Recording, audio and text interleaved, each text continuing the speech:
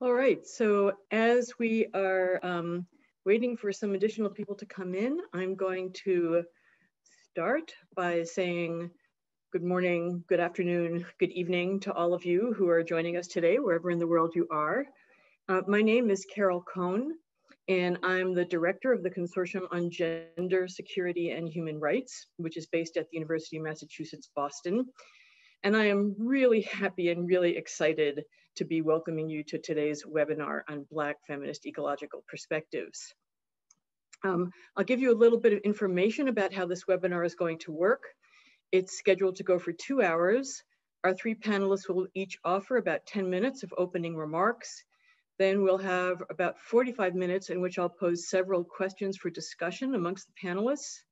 Uh, and then we'll turn to audience questions and I will um, turn the Zoom over to the consortium's project manager, Melissa Kay, who will be gathering your questions throughout the webinar. So if you'd like to submit questions, you can do it at any point, um, and please use the Q&A function to do that. At the very end, each panelist will have time for a brief closing reflection. And when you, the participants, leave the session, you a, um, a little pop-up survey will appear on your screen and we'd be really grateful if you could take just a couple of minutes to fill it out. A couple of other quick practical things. The webinar is being closed captioned. To turn on closed captioning, you'll see the closed caption option at the bottom of your Zoom screen and you can select either show subtitle or view full manuscript transcript. Uh, if you have any technical difficulties with Zoom during the symposium, if you email info at genderandsecurity.org, someone will be there to try to help out. Um, and last thing, this webinar is being recorded and the recording will be available online at our website and our YouTube channel. Today's webinar is the first in a four-part series on the prospects for sustainable peace at the nexus of race, gender, and the climate crisis. All of the webinars look to be wonderful and we hope you'll join us for as many of them as you can. In the chat box, you can find the um, URL for details about the topics, the speakers and their talks, as well as the registration links. I'd like to add that we would not be able to host these panels and these webinars without the generous support of UMass Boston departments and programs that sponsor our talks. For today's panel, our appreciation and thanks go out to the UMass Boston Departments of Africana Studies, Anthropology, Conflict Resolution, Human Security, and Global Governance, economics, history, philosophy, political science, and women's gender and sexuality studies, as well as the human rights minor, the Honors College, and the School for Global Inclusion and Social Development. Uh, I'd also like to thank the consortium staff and the terrific interns who've worked so hard to prepare today's event, including Katie Rose Parsons, Lauren Nishimura, and Taylor Douglas. And um, Melissa Kay, our project manager, deserves special and massive thanks not only for today's webinar, but for the whole spring series. She not only dealt with the practical organizing and the logistics, but she deserves the lion's share of the credit for the intellectual work of conceptualizing, researching, and designing this series. So thank you, Melissa. Um, before I give a bit of framing for this webinar and introduce our first panelist, I'd like to take a moment for a land, labor, and life acknowledgement. And the first part of that for me actually has to be an acknowledgement of Sindiso Mnisi Weeks, who hails from South Africa and is now a professor at UMass Boston, whose own thoughtful land, labor, and life acknowledgement at our recent symposium on feminist approaches to the climate crisis sparked some rethinking for me about land acknowledgements as did the Northwestern University's um, Native American and Indigenous Initiatives website, to which her remarks sent so many of us. It's central to our understanding of what the consortium's work is all about to acknowledge the land upon which the University of Massachusetts Boston resides, as well as an honoring of Indigenous peoples' relationships with their traditional territories, and as a recognition of ongoing colonial violence. UMass Boston and its surrounding communities are based on the ancestral homelands of the Massachusetts, Pawtucket, and Nipmuc people. We acknowledge the violent history of genocide and forced removal from this territory and honor the diverse Indian people still connected to this land. We also note that acknowledgements of this type are only one small initial step toward building a culture of respect, truth, and accountability. Acknowledgement needs to be followed by gaining more knowledge, by action building solidarity and combating the ongoing structural and physical violence directed toward Indigenous peoples. Following Sindiso, I also want to acknowledge that this country, like many others, would not exist if it wasn't for the unpaid enslaved labor of Black and Brown people. And so I want to honor the legacy of the African diaspora and Black life knowledge and skills stolen due to violence and white supremacy. Finally, especially in this time of pandemic, I also want to honor the waves of immigrants, including my own grandparents, who came and still come to this country as a free, if desperate, choice when violence, poverty, and marginalization in their home countries left them little other choice. And I want to acknowledge the ways in which they're carrying labor, both paid and unpaid, and their essential labor everywhere from agricultural fields to grocery stores to hospitals make our lives possible. Now, to situate this webinar conceptually, Today's webinar and the rest of the spring webinar series are part of the consortium's Feminist Roadmap for Sustainable Peace and a Sustainable Planet project. In particular, they're a direct follow-up to the three-day symposium we held in October of 2020 on confronting the climate crisis, feminist pathways to just and sustainable futures.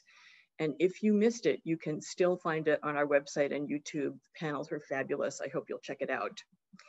Um, it was a central premise of that symposium and of the Feminist Roadmap Project more generally that we will not be able to effectively address the climate crisis by looking for solutions that are rooted in the same political economic paradigms, relationships, and worldviews that created the current climate and ecological crises in the first place.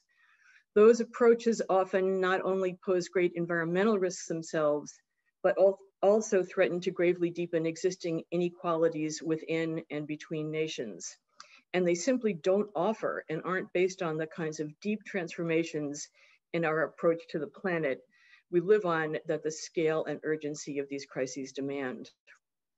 Luckily for us and for the rest of the planet's creatures, the dominant paradigms, worldviews, and forms of knowledge that brought us to this brink of eco catastrophe are not the only ones that exist.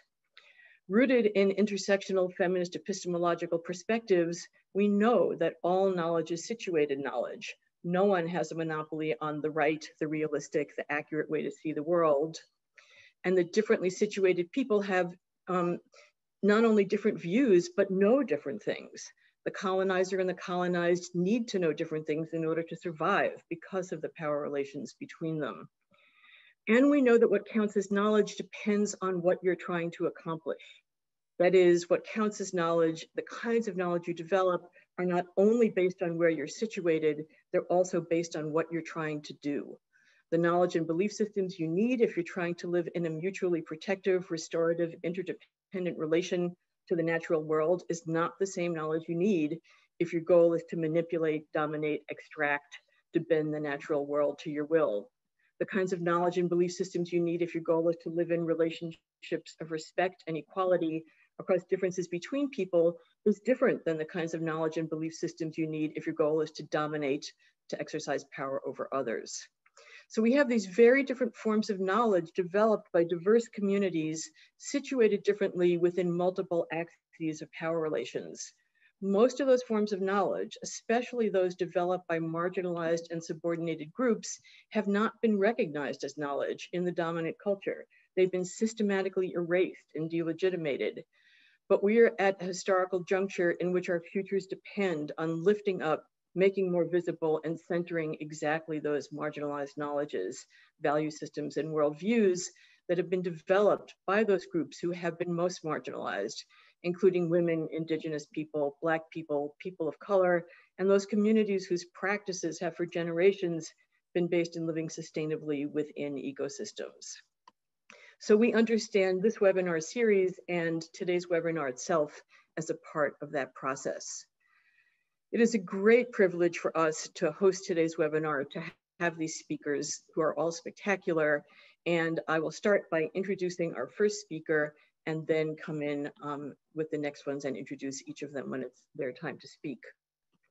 So our first panelist today is Dr. Kishi Animashaun Ducre. She's the inaugural Associate Dean of Diversity, Equity, and Inclusion and former chair and associate professor in African, um, African American Studies in the College of Arts and Sciences at Syracuse University. She's authored works on environmental justice, feminism, and community-based research, including the 2012 book, A Place We Call Home, Gender, Race, and Justice in Syracuse, and in 2016, a co-edited volume entitled Addressing Environmental and Food Justice Toward Dismantling the School to Prison Pipeline, Poisoning and Imprisoning Youth. Her most recent scholarship on this subject has just been published in the 2018 special edition of Environmental Sociology entitled The Black Feminist Spatial Imagination and an Intersectional Environmental Justice. She's also curated photography exhibitions based on her community-based arts research known as Photo Voice in New York, California, and Trinidad and Tobago. In 2011, she was Fulbright Professor, Fulbright Fellow at the Institute for Gender and Development Studies at the University of West Indies, St. Augustine. She's been a committed advocate for environmental justice for over two decades, her first foray in environmental activism was as a toxic, toxics campaigner for Greenpeace USA in the 1990s. She combines her experiences on the front lines of the environmental justice movement and academic training in geography and demography for a unique and gendered perspective on economic and environmental inequality. Her latest writing project is the development of a book manuscript that expands upon her theoretical perspectives on the Black feminist spatial imagination featuring case studies of the lives and influences of three women of the African diaspora, Harriet Tubman, Wangari Maathai, and Jamaica Kincaid. And that is where she will be starting us off.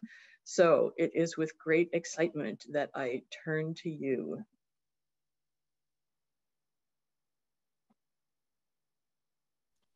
Thank you very much, Carol. Um, and thank you to all who have organized um, this, um, this symposium tonight. Um, and so I am going to try to take all my thoughts um, and present them in 10 minutes um, and hopefully leave you with a lot of questions afterwards. So the title of my talk is Harriet Tubman is Dope. And she is dope. She really is. And the but the problem is the way that the um, mainstream imagination has about Harriet Tubman, I should say that yesterday was Harriet Tubman Day. Um, she died March 10th. Um, and so um, the way that we think about Tubman is we think about her as Moses or conductor of the Underground Railroad.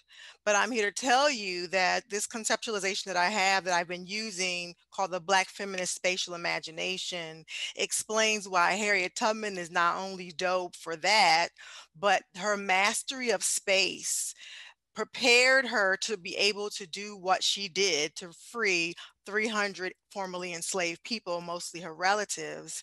And we also un- we also need to understand that she's dope for the work that she's not is recognized for in terms of being a spy involved in the largest um, raid during the Civil War, as well as her work in abolitionism and support of others, um, as well as in her final years establishing a space for um, orphans and for Black elderly in Auburn, New York. So that's why she's dope. So I'm going to talk about the Underground Railroad piece, but there's so much more to this. And the key to this in the book manuscript that was alluded to is I have needed to create a conceptualization for what I saw in my photo voice research with women in the Syracuse Black mothers in south side of Syracuse, an impoverished area right next to Syracuse University, and to with um, women who lived in um, stigmatized neighborhoods around the capital city, Port of Spain and Trinidad and Tobago. I noticed with my research and with these uh, particular women and mothers that they understood environmental risk to be much broader than anything that was ecological, that their risk, what they saw as ecological risk had to do with uh, the threat of violence, the site of past violence due to drug trafficking or gang activity. Um, and so they have a very broader understanding of what environment is and what risk is.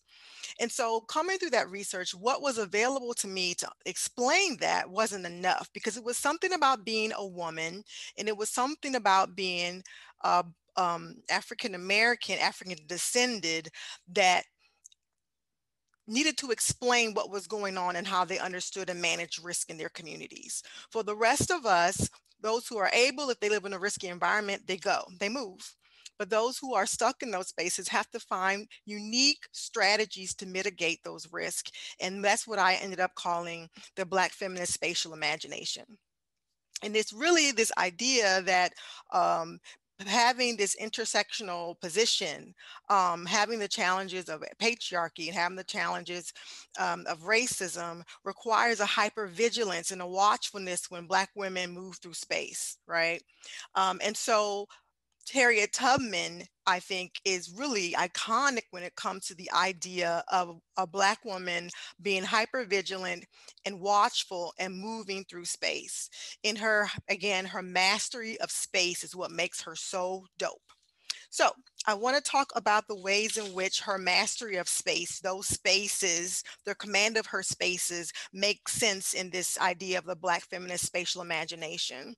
The first is her understanding um, of plantation landscapes. There's a particular, she has a unique location in her personal history and her biography that made it possible for her to have the agency and the courage and the will to run away and to return for others.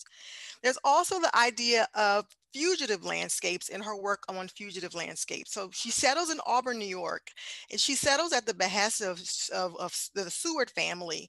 But it is something about the actual position of Auburn, New York, I think it is important.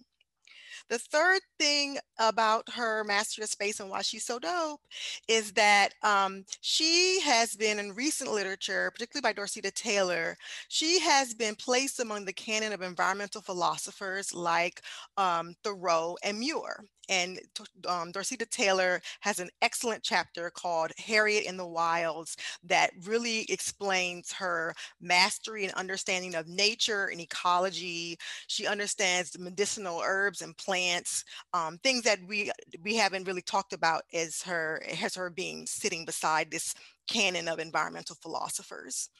Then, if time allows, I'll know Melissa tells me, there's also this ability of this mastery of space in her role as a spy.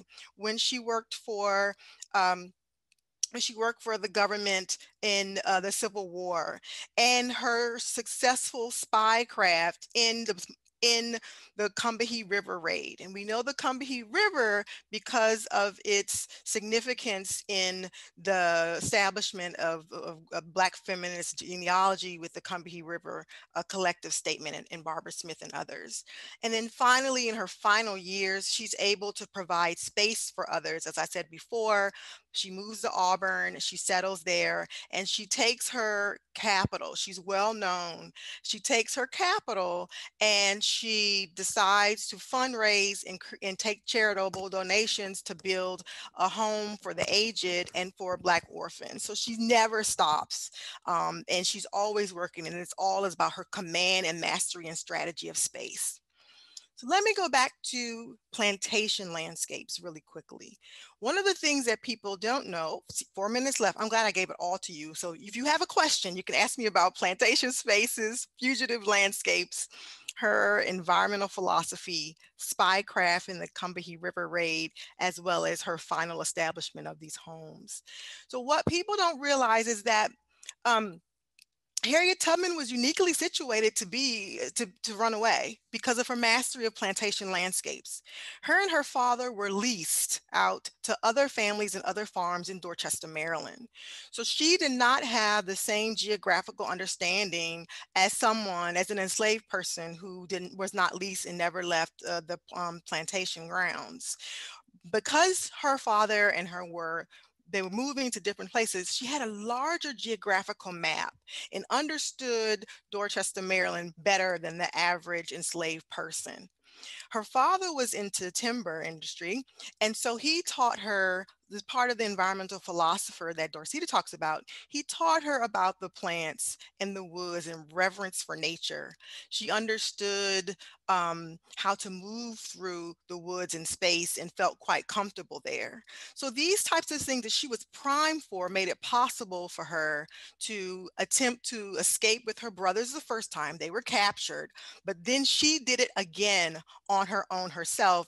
And as we know, as the story is told, she goes back multiple times until she um, is able to liberate 300 enslaved people. I also want to take this time to talk about the fugitive landscape. So again, she settles in Auburn, New York. And while she settles there because of the generosity of the Sewards, she also settles there, I now that I look at it, it's not that far from Canada. And so after the Fugitive Slave Act, she knew that it was dangerous for her to be there. So she went, she took her parents and herself, and they went to St. Catharines in Ontario, Canada, not very far. So now we have Harriet not only dominating and mastery of the of, of space from the south, because um, Maryland is south, um, to the north, we have her mastery and domination over transnational boundaries, right? And she's able to cross to Canada and to the New York and the US in ways to make herself safe and her others um, in her care safe. And again, environmental philosophy, um, we can definitely talk about that and, and what um, she knew about the woods and her, her um, experiences as a healer um, and then the interesting thing about the Combahee River raid is while she was instrumental in the most successful raid um, in the Civil War, um, as many people will talk about when it comes to Black feminism and Black feminist epistemology, her value was always threatened. She fought after the war to get her pension like other former soldiers that the United States would not offer her. When they eventually did give her her pension, what she was owed for her work during the war, it was significantly less than other soldiers. Um, so we can talk about Harriet in terms of um, the devaluing of, of Black women um, in the capitalist system. And then again, finally, the idea of space. Um, on her grounds in Auburn, New York, I invite you all to come visit. Um, it has now been declared a, a national a historic site. Um, she has the remains, it burned down. She has the remains of the aged home where she helped um, before there was Medicare, Medicaid. Um, uh, she saw fit to, uh, to um, protect the most vulnerable in um, Black society, which were children without parents, as well as the aged. So again, Harriet is dope.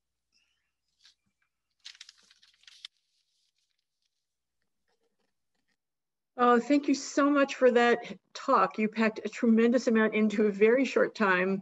Um, and, you know, thank you for giving us not only an, a, a re-understanding of Harriet Tubman, but also this idea of feminist Black spatial imagination and multiple ways of thinking about mastery of space. Um, and I have to say, starting us with even this idea about a, expanding the idea of environmental risk and such a clear example of when you ask different people about even a concept that some people think of as so straightforward, so cut and dried, your entire understanding of that concept changes.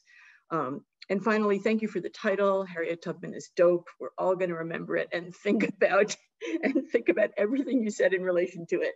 Um, so thank you so much. Um, it's now my honor to introduce our second panelist. I realized I forgot to put my video back on. I'm sorry. Um, there we go. Um, our second panelist is Dr. Tiya Miles.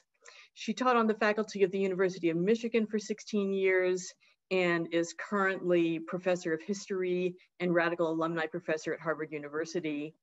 Her work has been recognized and supported by the MacArthur Foundation. And yes, she is indeed a winner of the fabled so-called MacArthur Genius Award, um, as well as the Mellon Foundation and the National Endowment for the Humanities. She's the author of three multiply prize winning books in the history of American slavery. Give me one second to fix my screen. Um, including The Dawn of Detroit, a chronicle of slavery and freedom in the city of the straits and the tie that and the ties that bind. Sorry, that was in the city of the straits and the ties that bind the story of an, those are two different books. I'm running this together. Um, the ties and the ties that bind, the story of an Afro-Cherokee family in slavery and freedom. And her work has been notable for its boundary crossing in its complex, fine-grained, insightful explorations of the relationships between African and Cherokee people living in colonial America.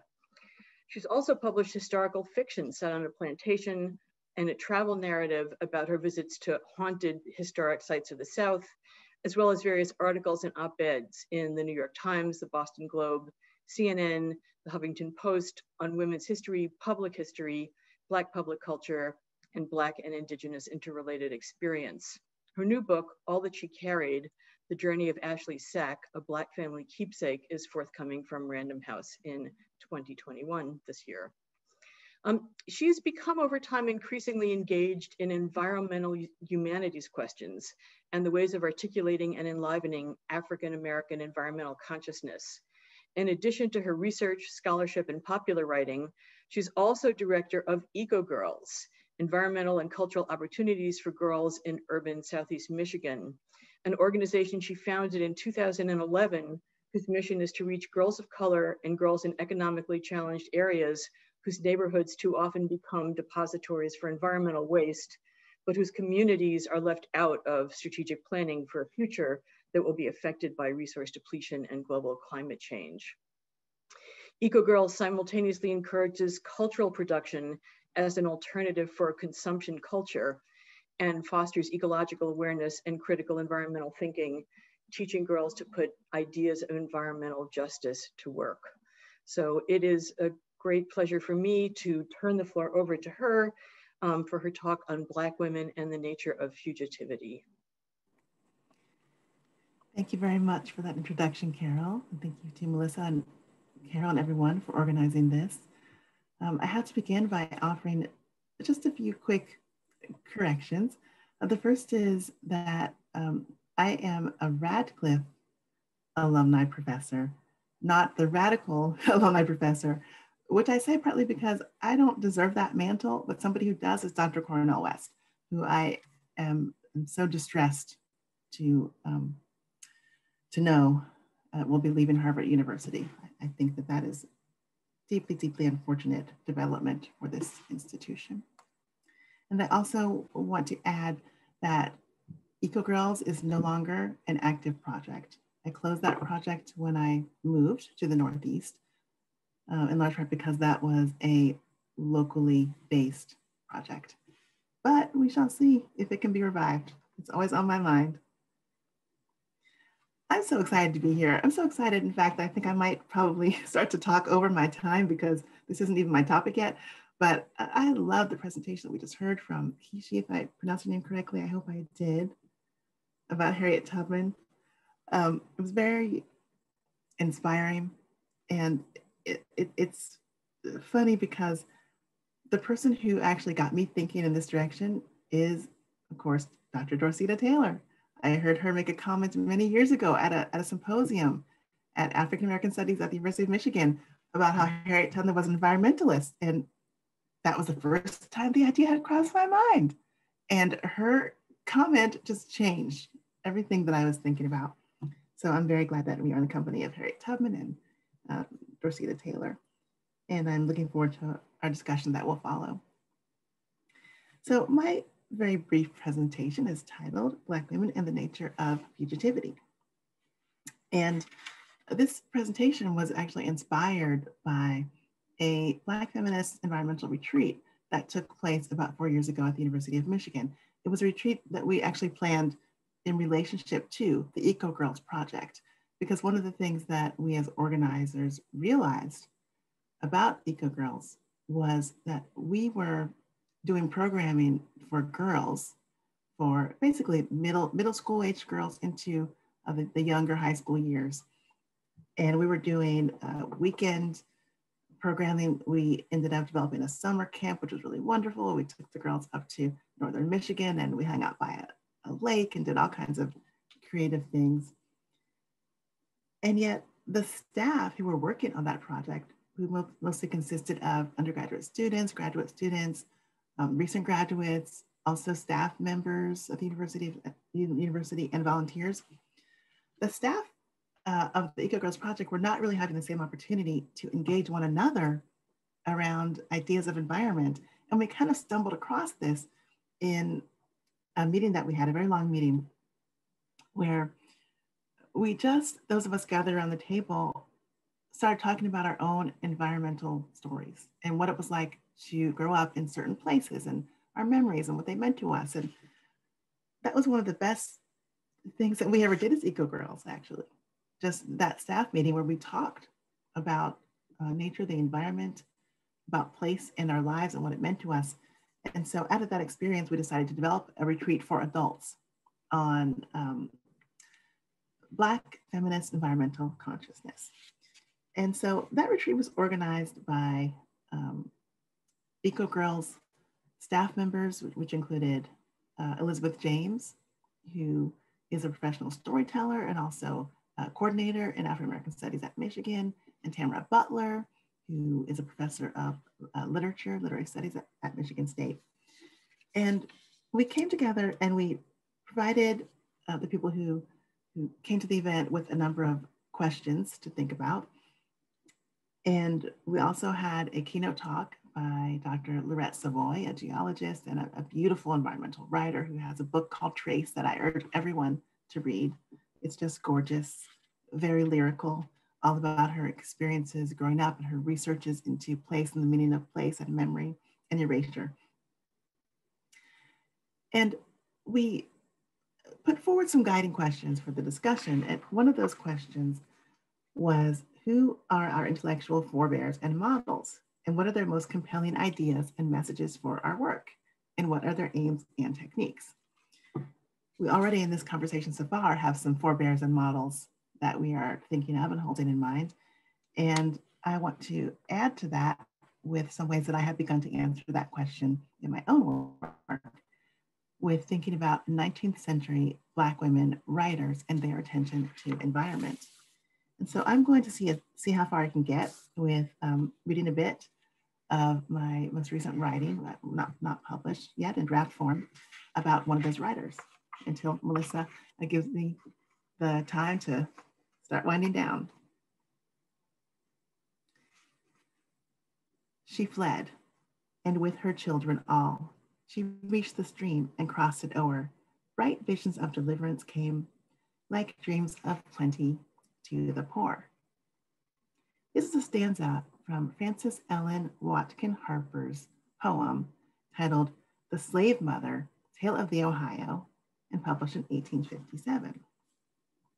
Frances E.W. Harper is one of those figures who I've been thinking quite a lot about. And this poem is one that she wrote in reaction to the case of Margaret Garner. Margaret Garner, who many of us know, was a young woman enslaved in Kentucky who was held in um, sexual bondage by her, her owner and who already had children, multiple children by the time she was in her early 20s. And she and her husband decided that they were going to try to escape across the Ohio River to Ohio with their children and with their parents. And this is the factual story that inspired Toni Morrison to write her novel, Beloved. And what happened in the Margaret Garner case is that once the family actually made it across the Ohio River, by crossing the river when it was frozen, they made their way to a to a free cousin of the family, and uh, their uh, the owner of Margaret Garner and the children, Archibald Gaines, actually found them in the cabin along with other armed men, um, and they were empowered to bring them back by force because of the Fugitive Slave Act that had been passed in 1850. And so um, in that cabin unfolded the scene that many of us are familiar with, a very tragic scene of Margaret Garner making the decision that, um, and she's reportedly said this, quote, before my children shall be taken back to slavery, I will kill every one of them.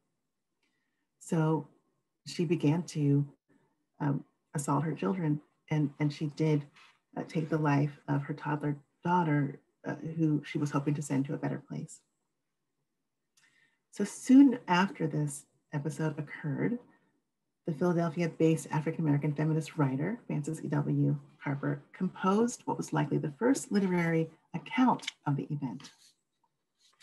And her poem, The Slave Mother, Tale of the Ohio, features an enslaved mother fleeing across the frozen river.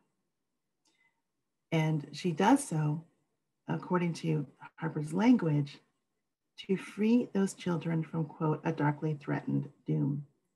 Now, in her writing about this event, Harper uh, uses lyricism, she uses uh, features of the natural world, and she emphasizes the presence and also the, the contribution, the, the active involvement of features of the landscape. She talks about water, she talks about the weather, she talks about the trees, she talks about the sky, and she makes them not only a backdrop, but also um, figures, actors in the story. And it strikes me as someone who has been interested in environmental history and who is trying to learn more about that field and, and to begin to write in that field, that this is exactly what environmental historians say that um, they want to do. That is to recognize nature as not just context, but as historical actor. And I think that Harper does this in her poem when she tries to understand and represent what Margaret Garner was experiencing. So to read you a few lines uh, from Harper's poem, she begins by saying, winter and night were on the earth. So that's her, her, her setting for what's going to occur. And she personifies the terrain by talking about uh, the shivering trees that feebly moan and the breeze that murmurs and uh, the season itself, which is winter, that sighs. It's all these elements of nature are with the enslaved mother. They are her companions. They are as cold and isolated and desperate as she is in this moment. And Harper captures all that in this poem. She describes the ice bridge that the Ohio River has transformed into, which is the only vehicle of Garner's escape. And we get through the poem this sense of just a flash, just a flash of the possibility of freedom that nature makes possible before everything closes down because of the men with guns who come to the cabin. So through Harper's work, we grasp more feelingly the encasing nature of slavery, the environmental quality of captivity, and the narrative capacity of things to illuminate the interior lives of the marginalized. We get to see inside of Garner's experience by way of Harper's writing and the way that Harper uses the elements of nature to tell and to enliven Garner's story. So my thought is that if we were to sit with Black feminist women's remembrances and narrations of historical trauma, that we would see not only unconscionable loss, but we would also see enslaved women finding in their fragile environments the tools of material resistance, the sources of emotional sustenance. And we would also see something that we can borrow for ourselves in the present day, and that is a language for expressing the unspeakable and a language for inspiring the fight against slavery, against racialized violence, against patriarchy. I'm going to stop there because although I have about uh, two more pages I'd love to share with you, Melissa has told me that I am at time. Thank you.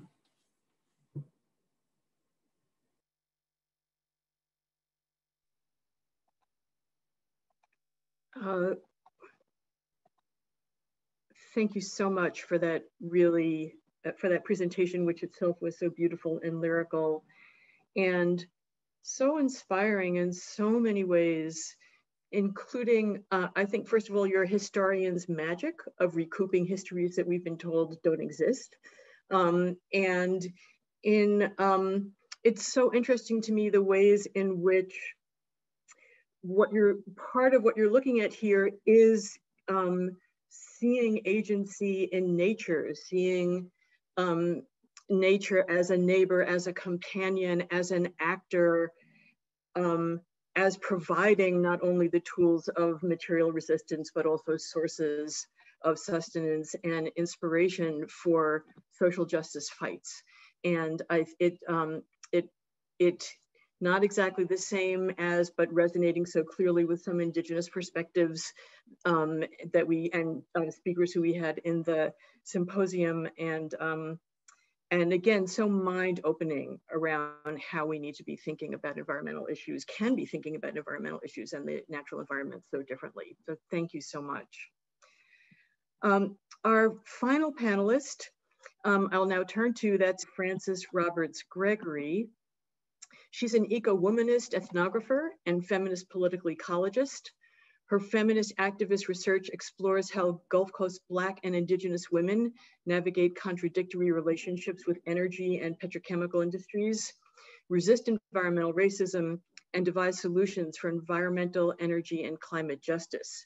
She currently serves as a future faculty fellow at Northeastern University in the School of Public Policy and Urban Affairs and is a proud alum of Spelman College, um, she is likewise a proud Switzer Environmental Fellow, Ford Predoctoral Fellow, NSF Graduate Research Fellow, Gates Millennium Scholar, and former Environmental Fellow with the Environmental Grantmakers Association.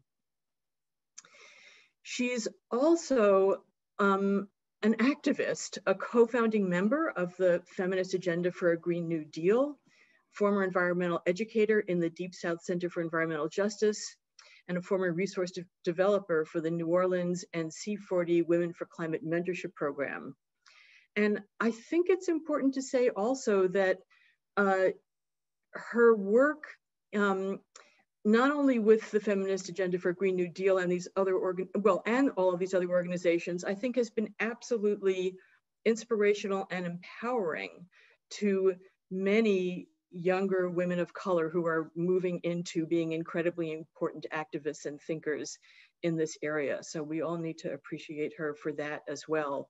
Uh, I'd also say for the graduate students who are out there, her participatory action research, I think is really a model of what it means to do work that is uh, politically responsible, informed, careful, sensitive to, and responsive to issues of power imbalances, not just in research in general, but especially in working with marginalized communities, um, as well as just being totally fascinating. So again, it is really my great pleasure to welcome her to be part of today's panel, and I will turn it over to you. All right. Thank you so much, Carol, for that uh, wonderful introduction. And so, as Carol mentioned, my name is Frances Roberts Gregory. I'm a future faculty fellow in the School of Public Policy Urban Affairs at Northeastern. And I'm really excited to share with you some of my eco memories from my fieldwork uh, season in uh, Gulf Coast, Louisiana. And so I have some slides. Hopefully I'll be able to, let's see. Ah, yes. So I always like to start off with a land acknowledgement. So I'm currently based in uh, Gulf Coast, Louisiana, particularly New Orleans, which also goes by Bulbancha. Bulbancha is a Choctaw word which means land or place of many tongues, and is historically home to many indigenous peoples, including the Chitimacha, the Choctaw, the Atakapa, the Houma, the Natchez, the Tunica, and many other individuals. I would also say it's uh, currently home to many uh, uh, African diasporic, Caribbean um, folk, displaced indigenous folk from the African diaspora.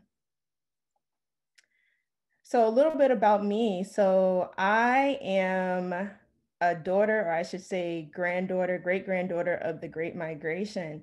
Uh, I was born in New Jersey, although I have uh, personal family ties to three environmental justice communities um, in New Jersey, North Carolina, as well as Augusta, Georgia. Uh, and I actually uh, studied in Atlanta, Georgia, and was able to complete, complete my doctoral studies in California in the Bay Area. And currently, as I mentioned, reside in Louisiana. And this is really important because as a eco-womanist ethnographer and autoethnographer, I really situate my Black feminist standpoint in my research and the fact that I have these personal ties to these different environmental justice geographies inspire my current feminist activism. So let's talk a little bit about Black feminist ecological thought.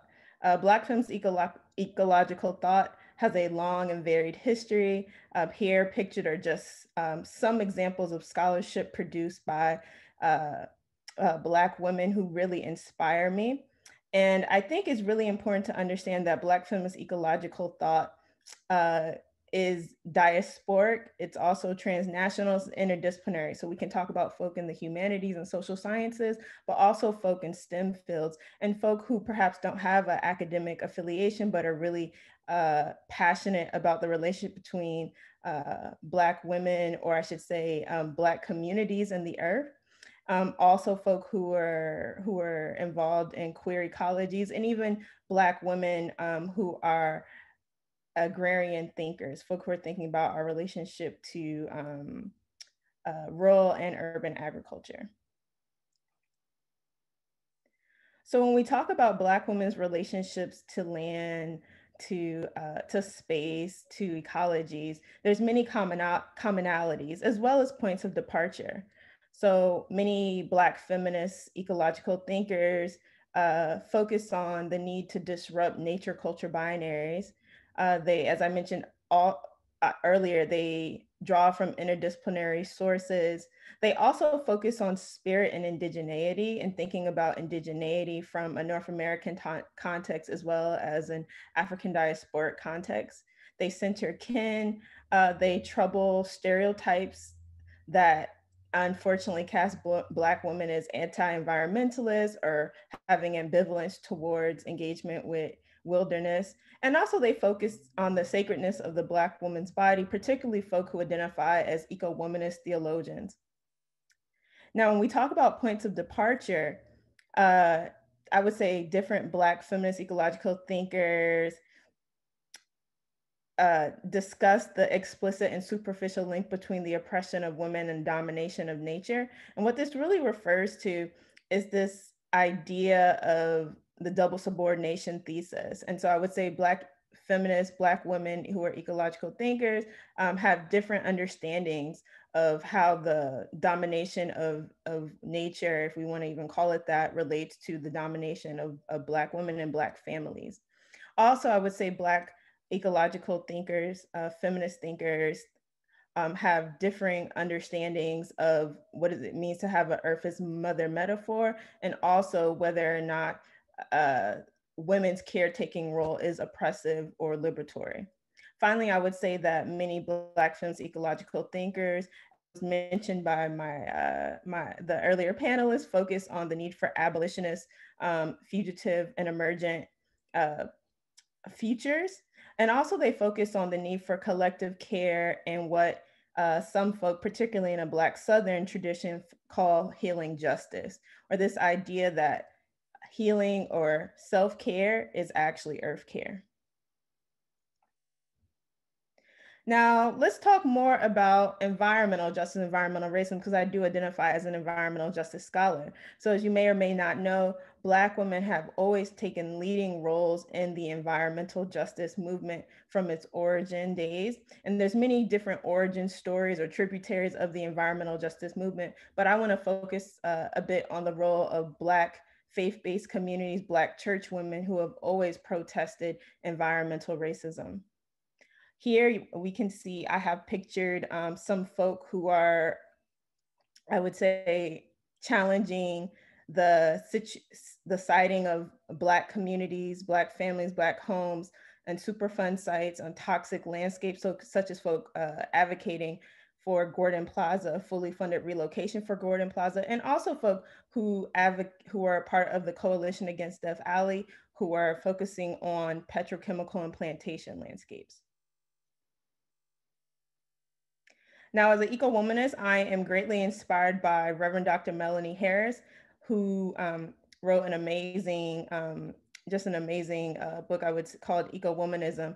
And really, eco-womanism refers to this idea that uh, Black women, women of color, women of the of the South, women of the global South have amazing, innovative solutions for environmental issues, for climate change. However, our understanding of, or I say, our futurist imaginings, our liberatory solutions are not always uh, acknowledged in the mainstream media. They're not always acknowledged in environmental decision making and natural resource management. So we really need to center our perspectives if we want to address some of these wicked environmental issues.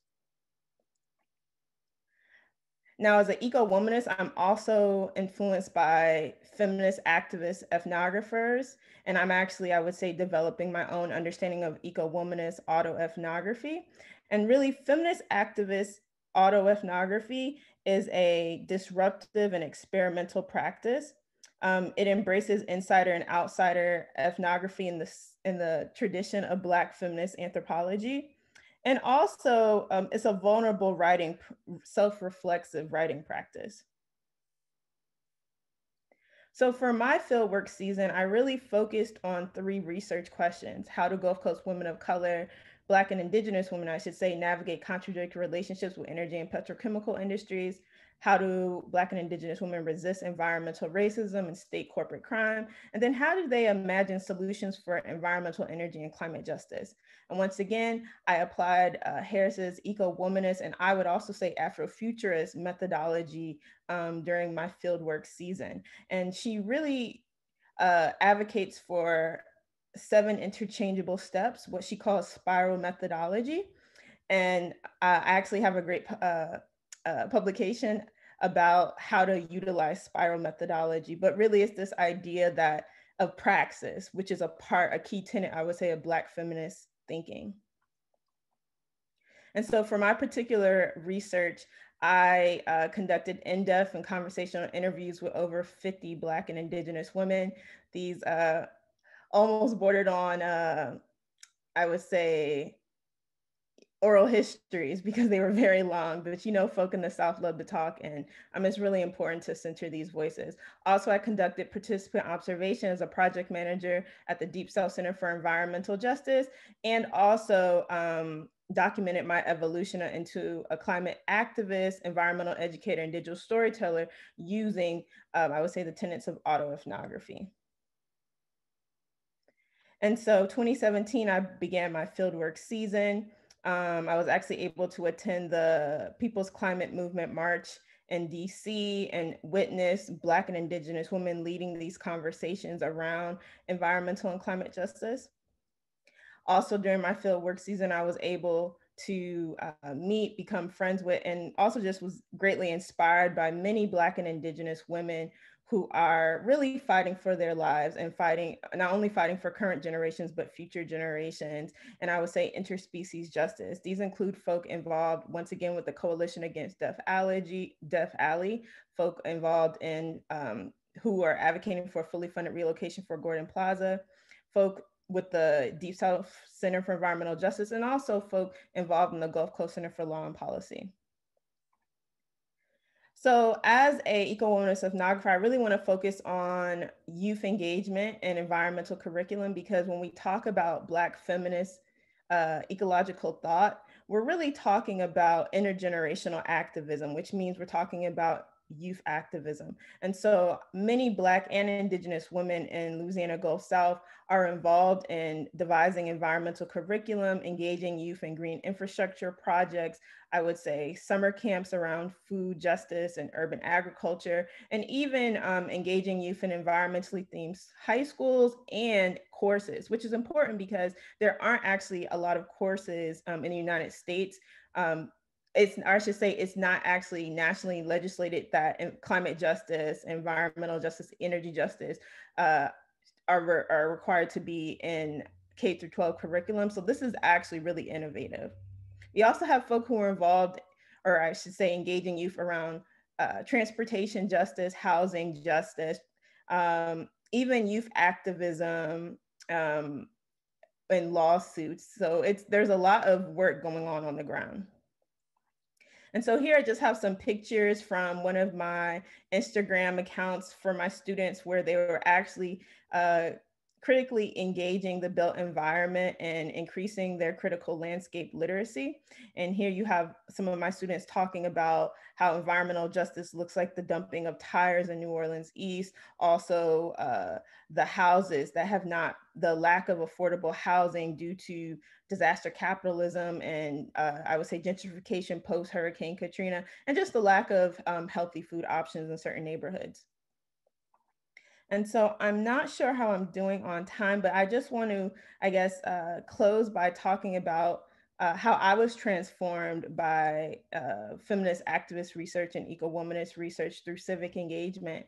And so I actually, as an environmental educator, consider myself to be an activist. I see uh, environmental consciousness raising uh, in the classroom is and in and outside of the classroom is extremely important. And so many of my students um, I engage them through um, green infrastructure projects, also by taking students to uh, museums focused on Hurricane Katrina, visiting um, uh, geoscience departments at Jackson State University to increase representation in, um, in STEM, and then also just having students engage in planting, um, which was really fun, I would say. And so currently- Sorry, oh. I'm just cutting right here. I definitely want us to return to a feminist agenda for a Green New Deal, but maybe after we go through a couple of the panel questions and then come back to the Q&A, if that's okay. Yeah, yeah, sorry I went over time, but yeah, thank you so much. Um, and yeah, I'm excited to talk more about my role as a co-founder of the Feminist Agenda for Green New Deal. Thank you. Uh, thank you so much for that really rich presentation, um, including it, the, your exploration of the many different meanings and many different types of um, Black feminist ecological thought and activism was really revealing. And then the ways in which you brought in for us kind of methodological reflection, both on research and on activism and on the way the two meet, I think was um, really important and inspiring for many of us. And um, and clearly we kind of then begin to see this genealogical line from Harriet Tubman on through a lot of the parts of the conversation that you were ending with. So thank you so much for that. Um, I, each one of these presentations was so rich. I know that people are going to want to um, ask our speakers about their presentations. I'm just going to ask you um, with those questions to put them into the Q&A and also to hold off briefly while we go ahead and um, have a few rounds of questions that are not directly um, about each presentation. Um, and we will try to do three or four of them, maybe thinking about, um, you know, less than 10 minutes for each question in terms of helping you gauge um, what kind of response you want to give. Um, and I guess it may be that we can come close to going past the first one. The first one, but not entirely. The first one was what do you want people to understand about Black feminist ecological thinking? And I think that um, it wasn't a question meant to ask any of you to give the definitive answer. We know that doesn't exist. And also Frances has just given us a really expansive view of what kinds of um, ideas and work are included in that thought. So, so the question is really then a more personal one to you. We're talking about a world in which this kind of knowledge is um, often marginalized, barely visible. What is it that when you think about it, um, what are the kinds of ideas that you really want to be much more centered and visible in sort of public imagination and in people's understanding of the possibilities of ecological thought? Um, so, uh, Kishi, can I turn to you first? Sorry. Um, so you're saying, how do we conceptualize feminist ecological thought? Um, for me, um, you started when you started the, the panel itself, but for me, it's about epist uh, the epistemologies, right? And the idea that um, the idea of epistemologies and Black feminist epistemology allows for it to stand on its own. And if you characterize your frame of reference for Black feminist, uh, Black feminist epistemology, then you understand that you can question and interrogate what we have been given as the historical record. So the victors write the historical record. Um, and so Black feminist epistemologies allow you to center Black women's experiences and the historical legacies of both racism and patriarchy to interrogate what we are supposed to know Um, and so I think that's probably the important thing. It gives us the space, the expansion to, to critically interrogate what has been fed to us and how we understand our social order. Thank you. Tiya, do you want to jump in next? Sure. I will um, just piggyback on that point and add one more to it. And the piggybacking comment I'd make is we are talking about a tradition. And this is something that has uh, has been argued about Black women's literature, about African American literature. It always has to be argued that we're not just talking about one-off ideas or random thoughts, but but rather um, deeply considered, long-standing, enacted in the world traditions. And we've, we've traced that tradition back to Tubman in this conversation. Uh, and we can keep tracing back. It goes back, I am sure, as long as we can know anything about Black women in what is now the United States, and of course, in our homelands before we were brought to what is now the United States. The comment that I'll add to that one is for me, the integrative quality or character of Black feminist ecological thought is central. And that comes up in what Frances talked about. Um, it comes up in, in the term eco-womanism, that term conjures that. And uh, in the retreat that I mentioned earlier, we had a discussion about what term would we want to use? What term would we prefer? Would it be Black ecofeminism, Black environmental feminism, eco-womanism, Black eco-womanism. We had all these ideas. And um, while, of course, people are going to differ on what they want to be called and how they want to identify, and many people will wear different hats on different days, eco-womanism was the hands down um, favorite for that group because people trace that idea, people at our retreat trace that idea back to Alice Walker, and Frances has added another thinker, you know, to, to um, to Walker for us to consider as well. And people at the retreat were thinking about the importance of Walker's definition of womanism as being holistic, integrative, multiple, connective, and not just about one particular subgroup's uh, needs.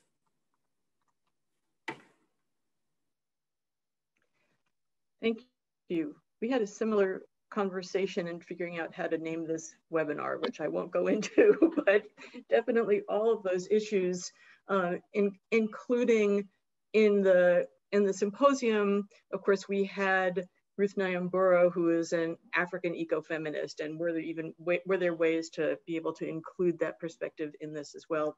Anyway, let me turn to Frances. Yeah, I completely agree. Uh, especially when we talk about naming that's that's a whole nother conversation. I would say what i would want to bring to the bring to the conversation is the idea that um, black feminist ecological thought as is once again um, heterogeneous. Um, it's also for me really important to focus on how it's diasporic uh, and also it's uh, it's radical. I would say it's it's pushing the boundaries it's on the margins oftentimes, but it's pushing the boundaries of many disciplines, many even I would say activists and organizing communities. Uh, and then I would say that it's it's digital. I think that we have sometimes narrow understandings of what ecologies are, but we need to focus on um, cyber feminisms, digital feminisms, um, folk who are thinking about ecologies and networks in very interesting ways. So yeah. Great, thank you. Um, yeah, Kishi, do you want to jump in? Yeah, I um I wanted to lift up what uh, Frances said earlier in her presentation about praxis and how Black feminist epistemologies allow for a praxis. Um, I uh, in my 2012 book, I was so nervous because I made my voice heard in the narrative, and I was not trained to do that as a sociologist. Um, and so, praxis is very important um, when you think about the Black feminist ecological perspective. Great, thank you. So, I think that your comments um, lead me to jump to my third question rather than my second one um, next, because you're talking about, um, you know, a, a heterogeneous diasporic ways of thinking that are radical, that push boundaries and allow for praxis. All of this is a world away from what we usually think of when we say, oh, come up with policy recommendations, right? Translate the perspectives that you are bringing into the world of policy and politics. And very often trying to do that is um, excruciating because it's often very hard to bring such radical ways of thinking into a policy frame. And yet, um, if we want to change what's happening in the world, at times that feels really necessary. It feels necessary to try to do that in relation to policy. Um, so the question is, what policy priorities would the Biden-Harris administration have if it were guided by Black feminist ecological thinking? How do you make that leap? Who would like to go first.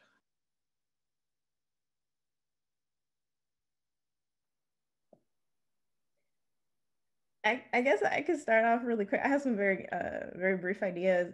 I think that since I think that from a Black feminist ecological perspective, the Biden Harris administration would need to I'm biased, obviously focus on the feminist agenda for a Green New Deal because Black uh, feminists are involved in that collective, um, particularly even from the Gulf South. We see the Gulf Coast Center for Law and Policy is a co-founding organization. Also, I would say focusing on traditional uh, Black feminist concerns such as voter suppression, gerrymandering, um, for I feel as though when we talk about greening economies, it's often progressive blocks, um, women, people of color, Black folk who are who really vote for these progressive policies. So we need to increase, obviously, their representation in these policymaking um, uh, spaces, environmental decision making spaces, and that means we have to address voter suppression. Uh, and then also, lastly, I would just uh, shout out some Black, I would say, feminist and queer uh, leaders who are joining the new administration. We see Shalanda Baker as the new Deputy Director of Energy Justice um, at the Department of Energy. So yeah, those are some of my brief thoughts. Um, Frances, do you want to take this opportunity to say something about the feminist agenda for a Green New Deal?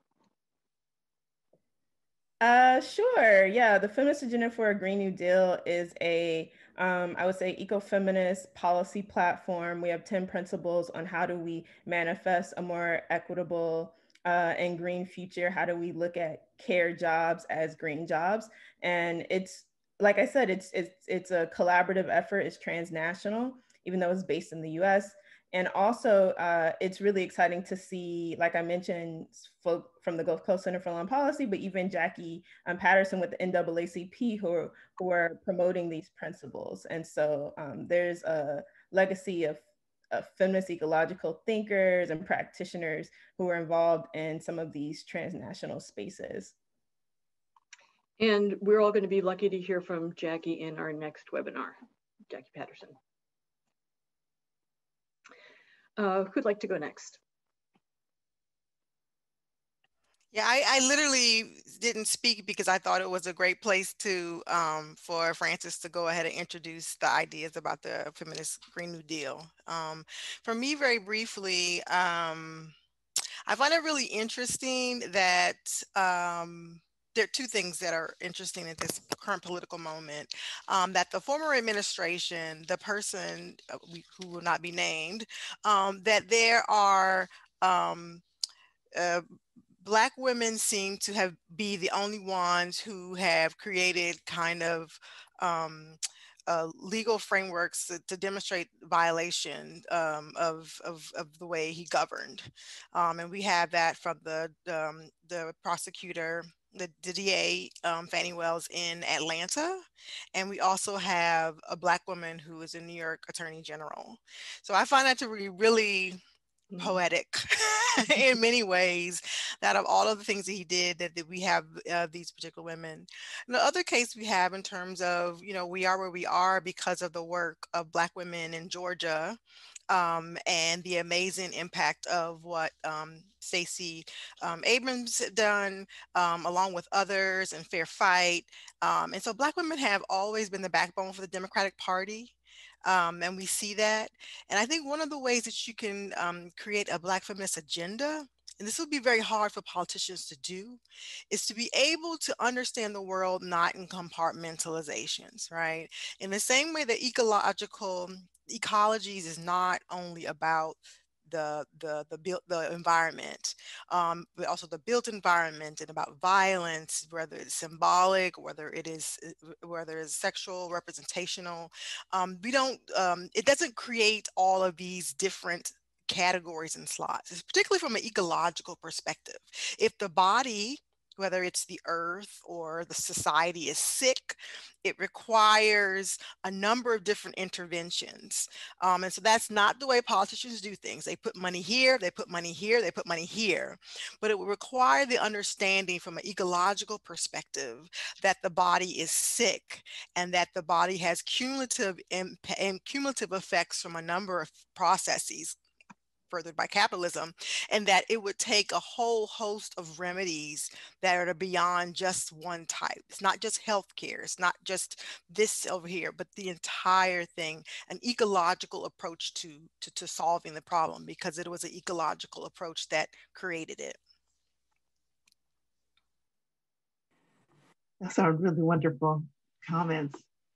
Um, what I'm thinking about is work I've been doing lately on enslaved Black mothers and the ways in which they have been aware of their environmental surroundings, been in relationship with the features of the natural world, uh, including inspirited features of the natural world that comes back to that idea of allyship and assistance and help that, that can be there for people who are marginalized, and the ways that they have gathered those resources both physical and spiritual, and use those to try to protect their children, to try to protect their families, to try to protect their communities and their people.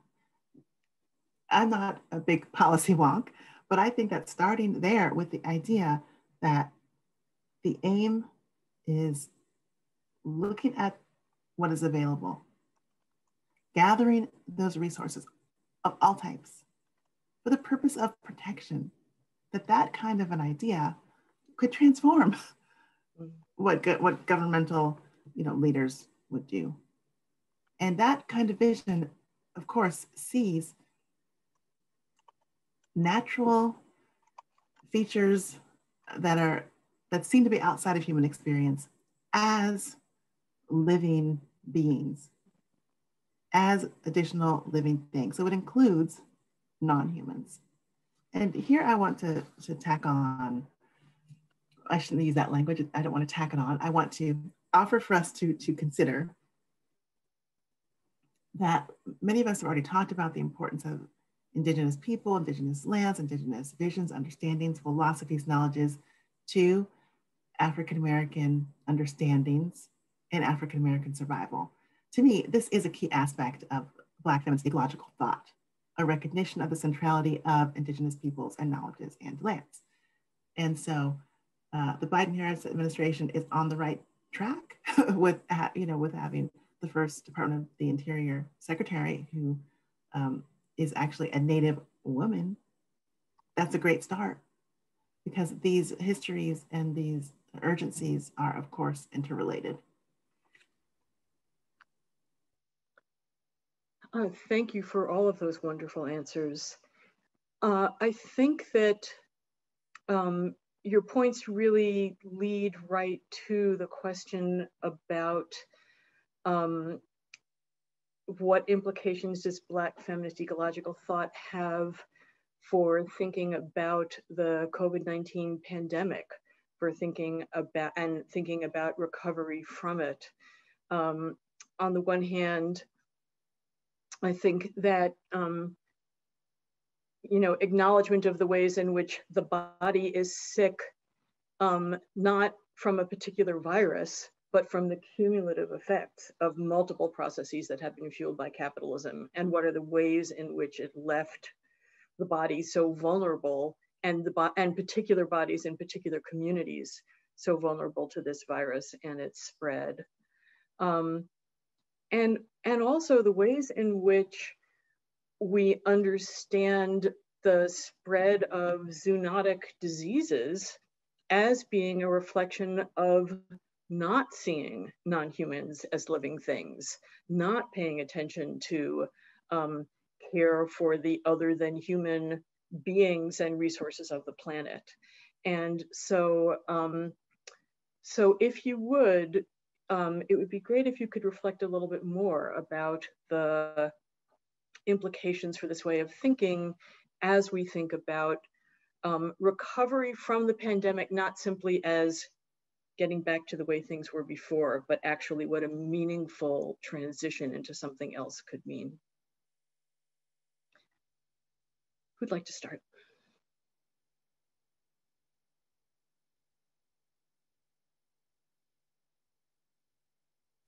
I took it very literally, um, your question, um, and it kind of dovetails with what you asked before.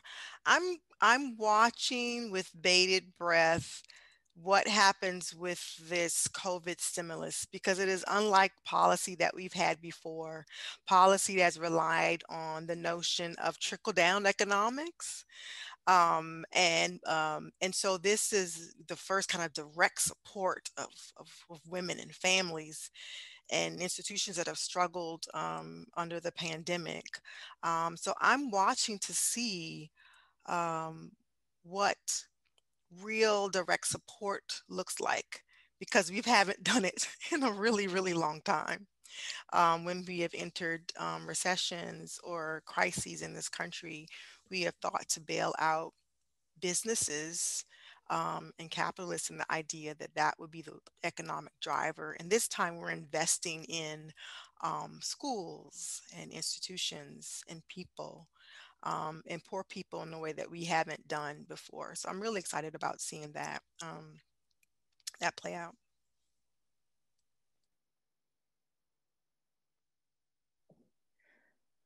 So I guess when I think about the implications um, for a Black feminist ecological thought for this uh, post-pandemic recovery, I think about, well, what was, what were Black feminists uh, perspectives for economic recovery during the, the New Deal? And so then I go back to folks such as Mary McLeod Bethune, who were um, instrumental in lifting up uh, the concerns of the Black community, I would say intersectional perspectives through her leading the Black cabinet. And so for me, it's about it's about leadership and centering the leadership um, so of, of former feminist leaders, uh, our sheroes, and also new folks such as Rhiana Gunn-Wright, who is uh, one of the architects of the, of the Green New Deal. Uh, I think that we need to, Black feminists have always talked about the need for affordable housing, for uh, childcare, for, uh, you know, social security. I mean, there's just so many basic types of care and uh, social infrastructure that have been dismantled and challenged um, over time. And so I would say that Black feminist ecological thought, Black feminist thought points to uh, the need to revisit some of these conversations that really we've been having since um, folk of African descent were kidnapped to this country and settler colonialism, and also since Reconstruction. So uh, that's my roundabout way of answering the question. But yeah, I think that we need to uh, think about return to our maybe our history books and then see how Black feminist thinkers have thought about recovery, um, and then extrapolate that to the future. Great, thank you. Tiya. Well, in many ways,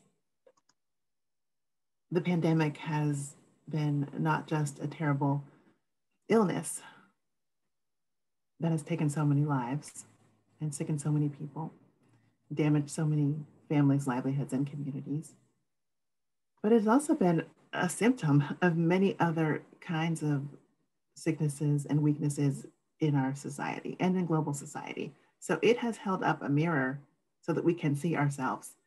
And I don't think that those of us sitting around this virtual table are surprised at what that mirror has reflected. Because Black feminist thinkers have been saying and writing for decades and even centuries that the people who are the most marginalized need to be the ones around whom policy is shaped. They are the ones who are going to feel trouble first and be hit, you know, the, the worst by any kind of either planned and purposeful or um, unexpected and um, and uncontrollable disaster. And we've seen that with COVID. I think about uh, the Combahee River Collective statement, which doesn't talk about environment. We've already talked about that today. You know, we started off talking about that, right? Which isn't explicitly about environment, but of course, um, the women who wrote that statement were inspired by Harriet Tubman and her work on um, the Combahee River. And so I think of it as a, an environmental reflection, even though it's not stated as such. And that is a set of ideas that points this, this out that we have to think about those who are the most marginalized. And if we do, we will help everyone in society. If we don't, we will see what we have been seeing, and that is those who are already not receiving the health care that they that they deserved, who were already having to, to work jobs that were putting them in difficult positions and making them exposed to um, environmental threats, who were already impoverished, who were already facing racism, racial discrimination, were the ones that are the ones who are hit the hardest.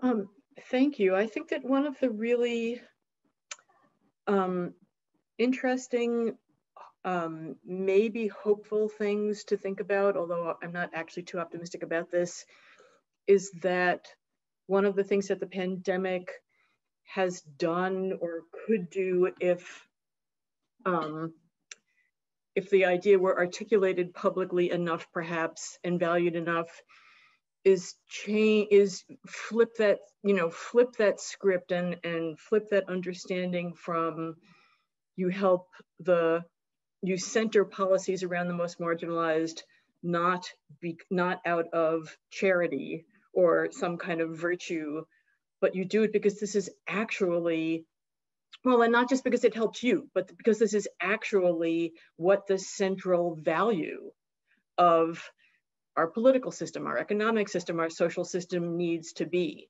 That it's not about sort of a side dish to the goal of our economy is exploitation of people and resources and then by the way we help the most vulnerable you know because we have to on the side but that this is actually how we reorient the entire society um, because it's a better it's a better value it's a better goal it's a better vision.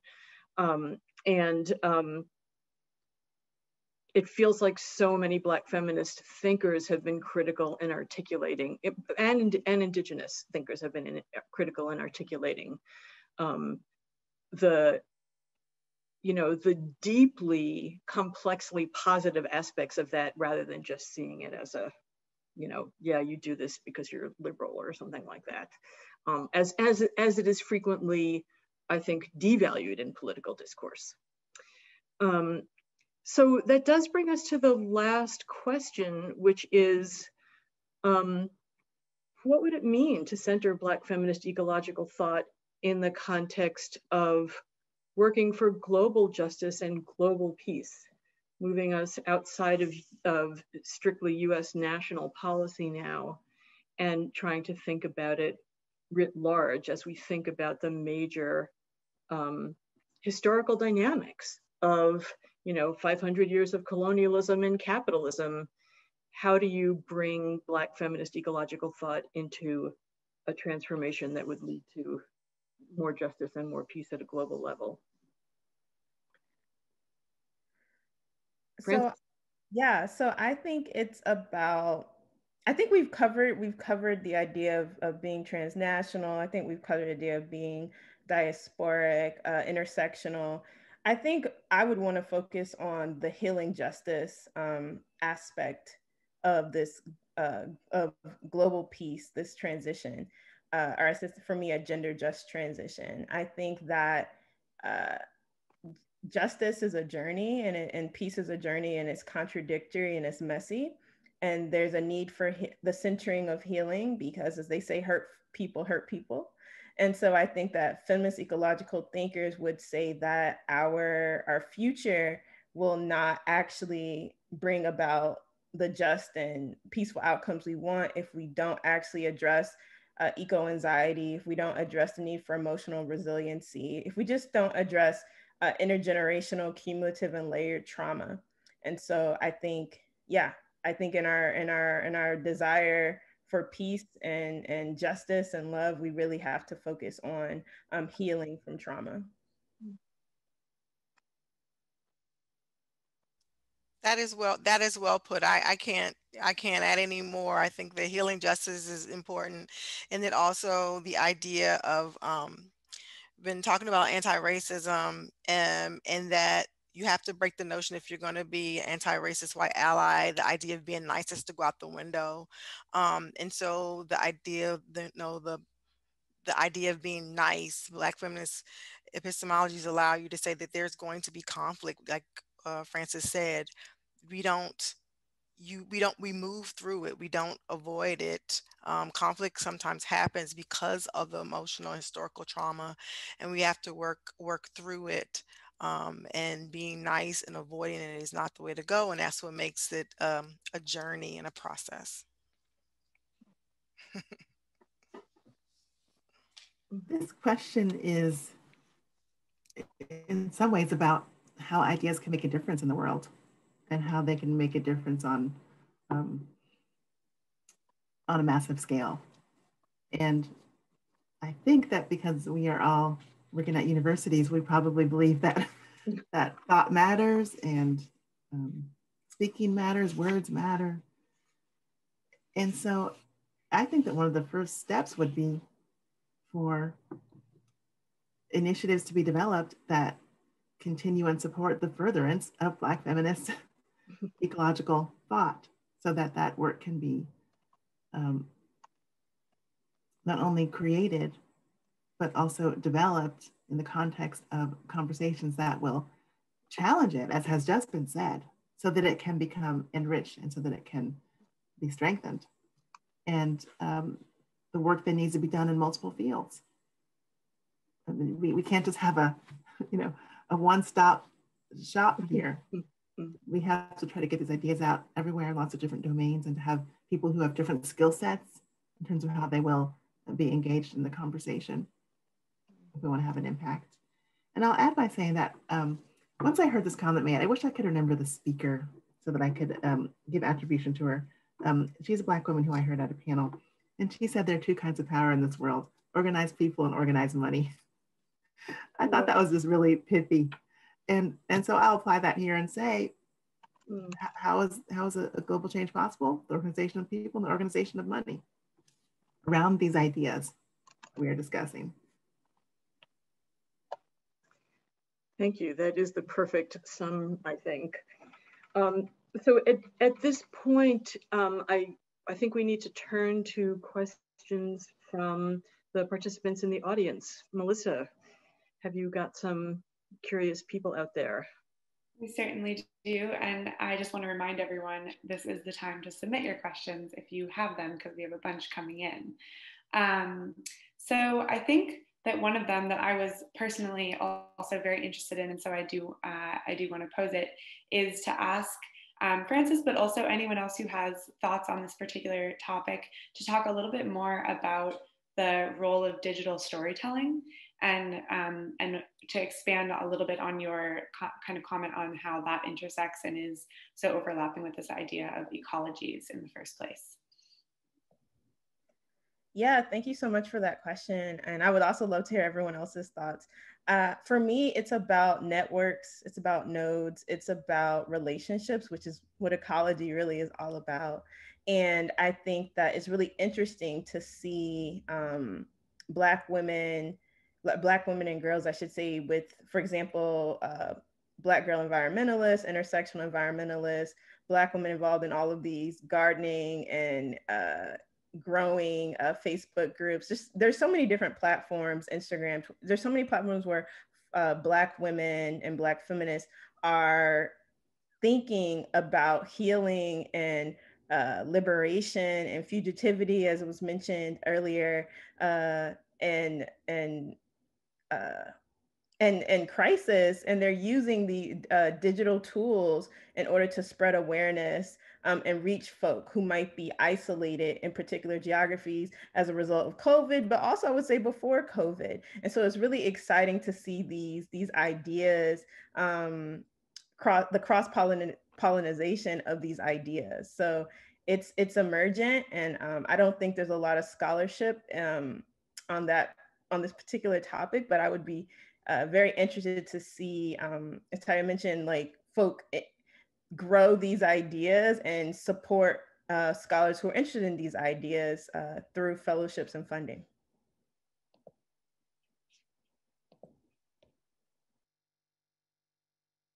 Melissa, I'll speak to that uh, just briefly and say that while I have been involved in mapping projects, I have never done the actual digital programming work to make those happen. Uh, I feel like I have a lot to learn in this area.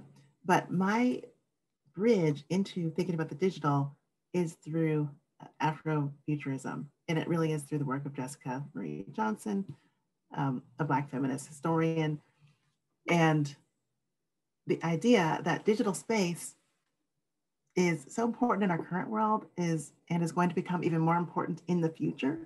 And so we have to conceptualize that space as an environment and think about what seeds are planted there and think about what is growing there and think about how that space relates to um, our, our exterior felt material natural world.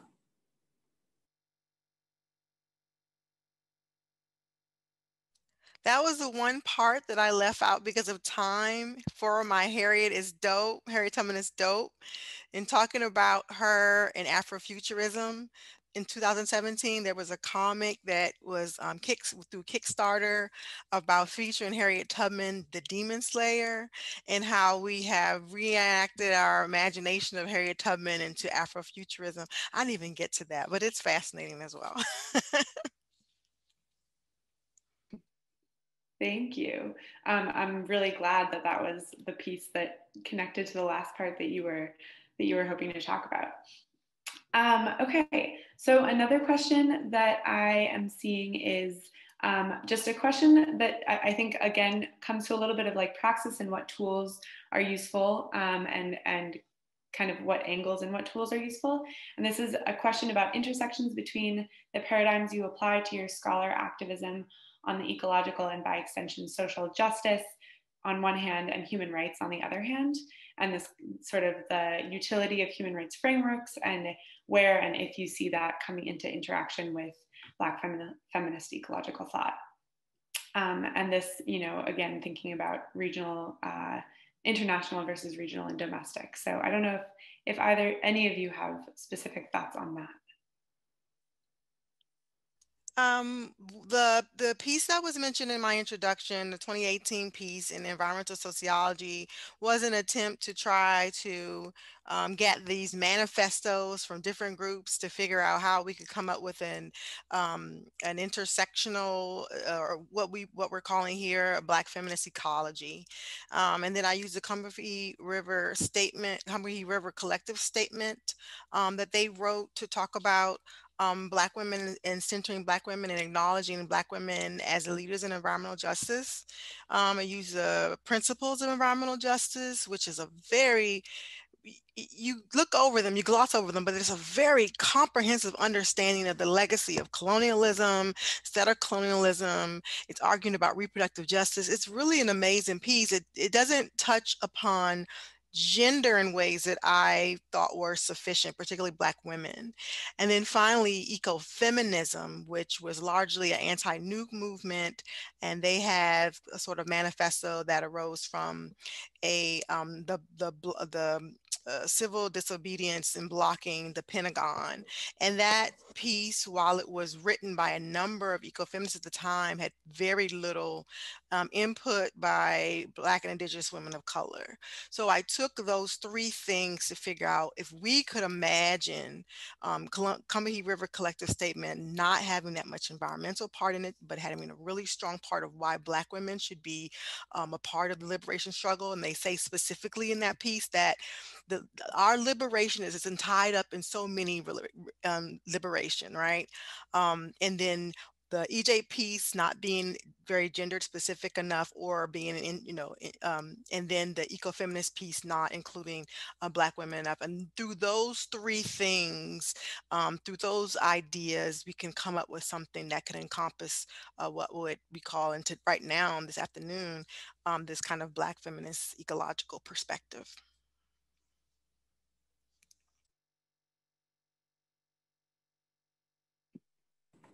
I will will add, but first I want to make sure that Frances is wanting to get in because I just spoke a moment ago.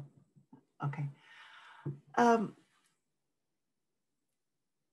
I was going to say I think we need to have big toolkits, but now I think I want to change that to say I think we need to have you know large gardening baskets with lots of different um, tools available to us for studying the questions, for making the arguments, for translating what it is that we think we're discovering, for talking with people, and for listening, for listening to, to what it is that people have themselves studied, researched, understood, shared, and so on. And so I think the human rights framework would function and be productive in certain contexts, especially in um, an international policy kind of context. But the human rights framework has limitations. And one of the first one that this is obvious is that it focuses on the human.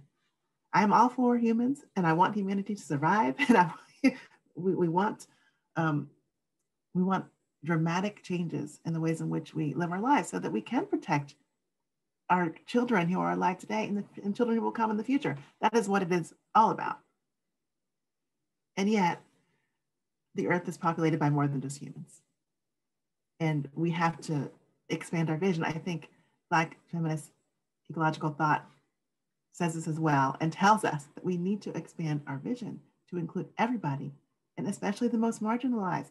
And sometimes it might be a person and sometimes it might be um, another kind of animal.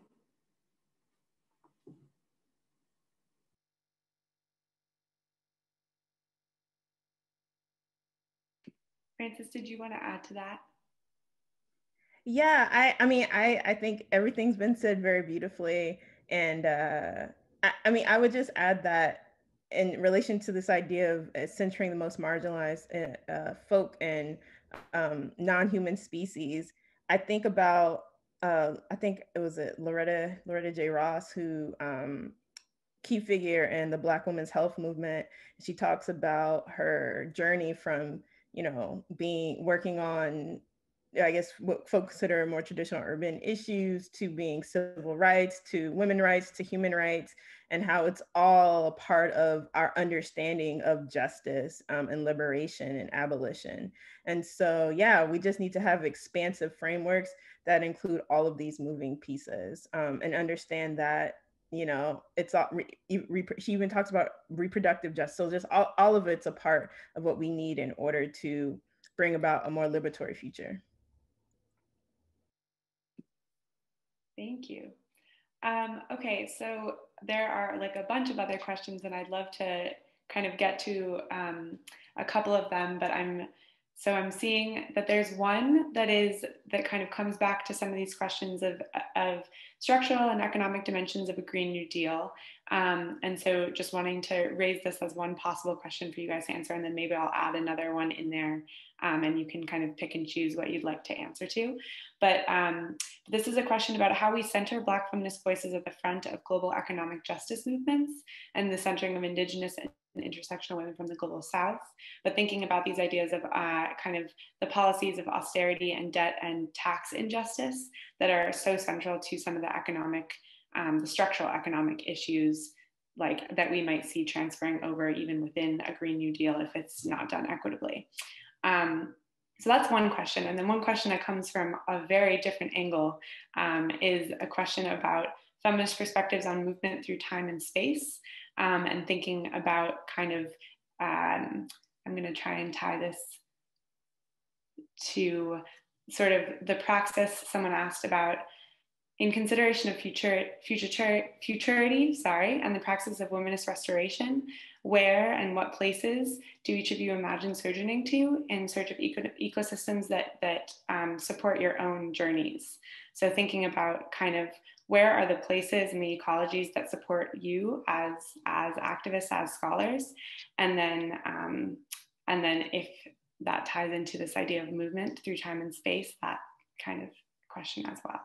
So those are two very different angles. One on kind of policy, coming back to the, these ideas of economics, and the other one thinking about um, where are places that you go to in terms of restoration and the environments that make you the strongest. And I'm sorry to put them both on you at once, so you can choose to just answer one and then we can go back around and do the other one. So completely up to you. Okay, so I'll start. I'll try to attack one of those questions. Uh, so, in relation to, I guess, the Green New Deal question and a question about austerity, debt, um, and tax justice, I think it's important that we um, lift up the solutions on the ground from frontline individuals. So, for example, there was a webinar uh, 2020 uh, with I think COP26 coalition titled "A Red, Black, and Green New Deal," and they were discussing the need for climate reparations and why that's not like some uh, you know this crazy idea for lack of a better better, better phrase. Uh, there were folk who were talking about the need for rematriation of seeds and and land and folk who were talking about the need to restructure debt and cancel debt um, as part of our commitment to climate finance and the transfer of knowledge um, and and ensuring that folk are able to equitably participate in these international climate negotiations. So I guess the short answer is yes, folk on the ground are thinking about how do we um, from an economic perspective, even feminist economists are thinking about how do we bring about this just and equitable transition and how do we make sure that we're centering historically um, marginalized, subaltern, and formerly colonized voices?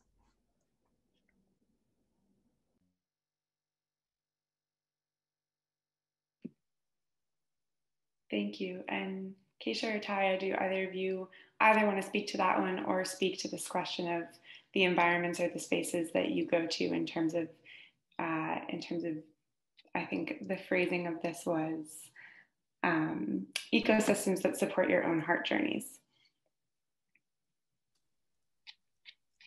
I'm trying to figure that out. that is a work in progress. Um, yeah, that's a work in progress. Uh, uh, but I guess if you can see my enthusiasm about Harriet Tubman and other sheroes, um, and looking at you know, looking at their particular consequences um, and understanding how they were able to to to move beyond that. Um, other sheroes include um, Fannie Lou Hamer and her very agrarian approach to liberty and justice. And so I kind of immerse myself um, in uh, particular Black women, and it would be, eh, and it would be Harriet Tubman, um, uh, Fannie Lou Hamer, um, and uh, she just escaped me. It's getting it's getting late. She just escaped my mind.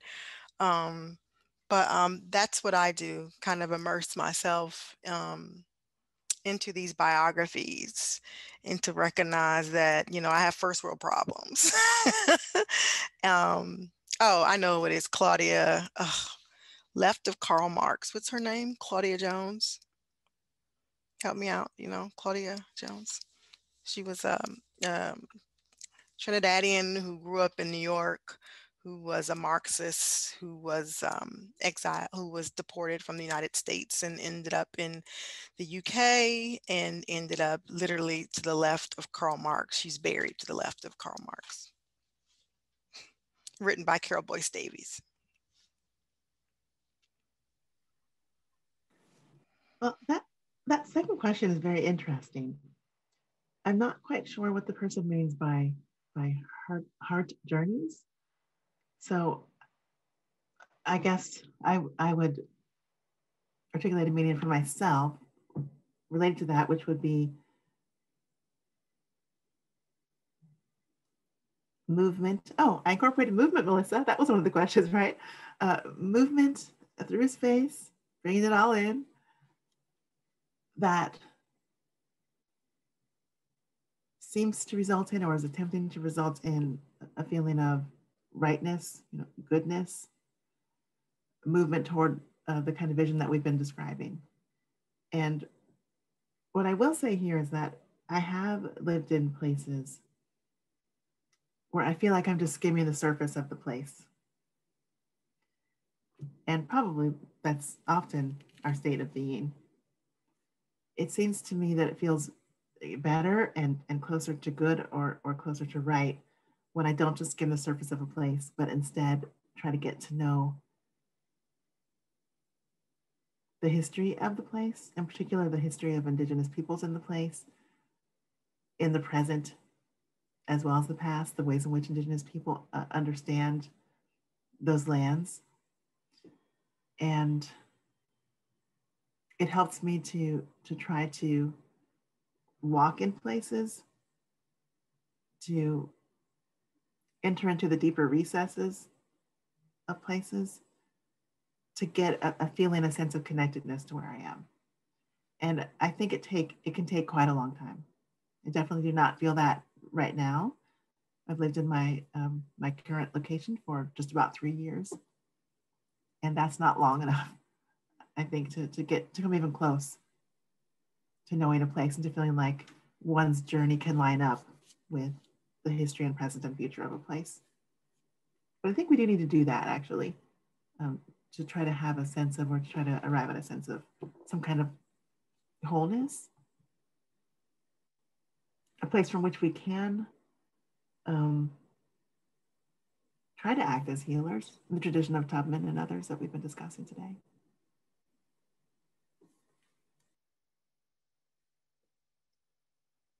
Yeah, and I would just add really quickly that in relation to that question, I'm trying to uh, sojourn uh, into myself, lean into my authenticity, and take up more space uh, as a black as a black woman, as an activist. Uh, also, return to Cuba one day, and uh, in terms of thinking about my own genealogies.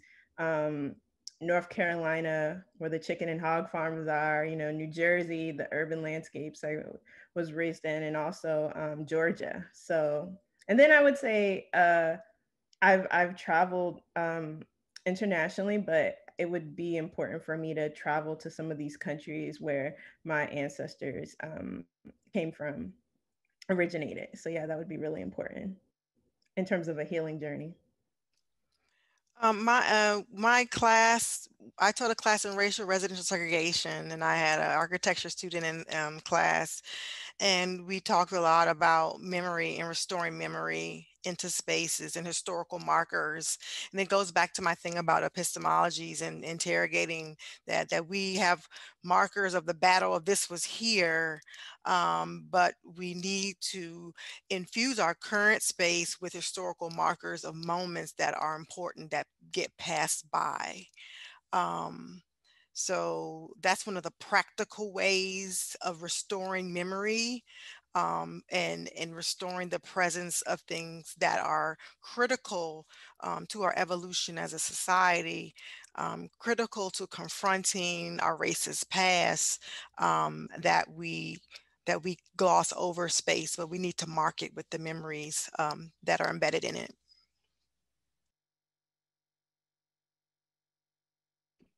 Yeah, thank you.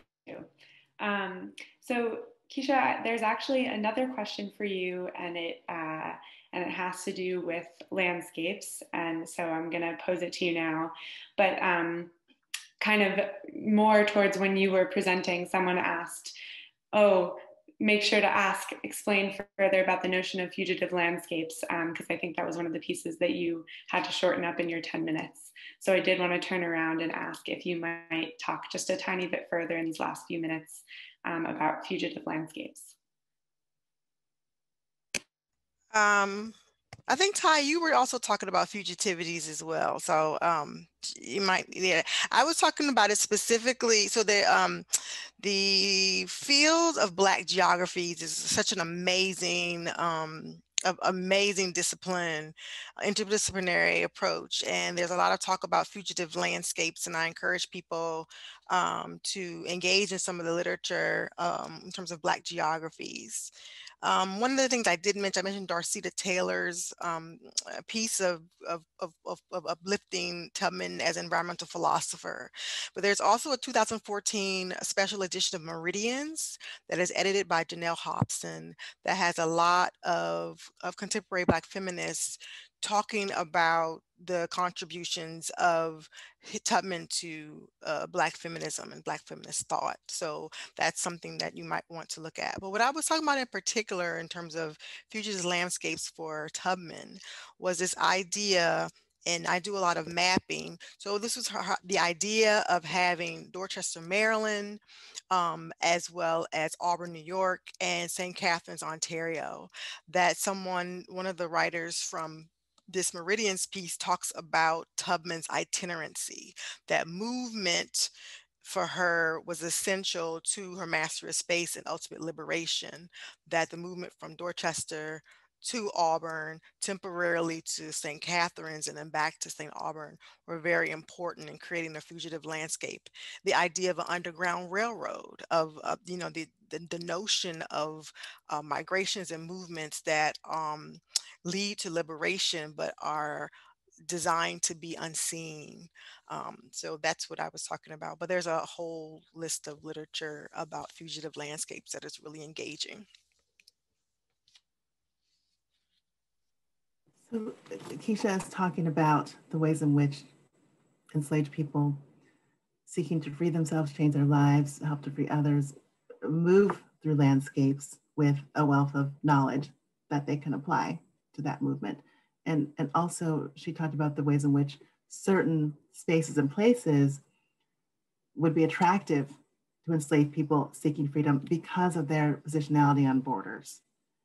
And that's something that I have thought about and, and worked on as well in my research and writing on slavery in Detroit and the ways in which enslaved people were able to use the Detroit River as um, a borderland space that enabled them to try to access freedom actually in both directions because at this time Canada was not a free space.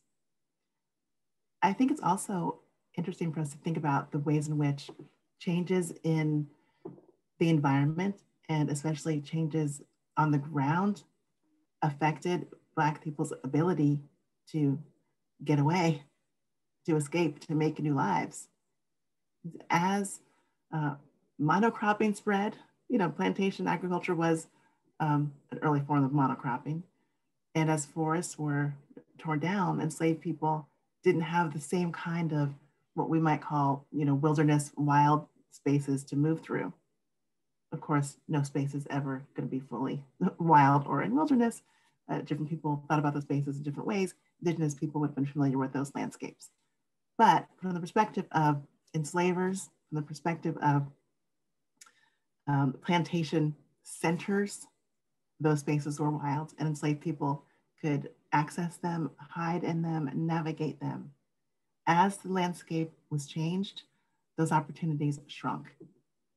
And I think that's um, important for us to think about with regard to the past, but also with regard to the present and possibilities for reimagination, reinvention, uh, and even protection in our present day political moment. I am so sad to say that our time is just about up.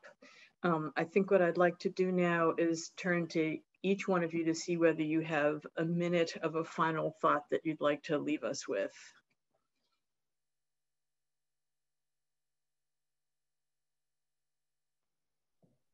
Frances, yeah, we'll start with you. Yeah, so uh, well, it's been a pleasure to just be a part of this conversation and um, really uh, listen and learn from my brilliant colleagues. Uh, I think that I would just like to echo um, uh, uh, point about we need to create more spaces for these types of conversations and funding for this type of research. I think that's really important. Um, also, I would say that for me, when I think about Black feminist ecological thought, uh, I I'm really really enthralled with this idea of of landscapes of desire and also pleasure in relation to healing.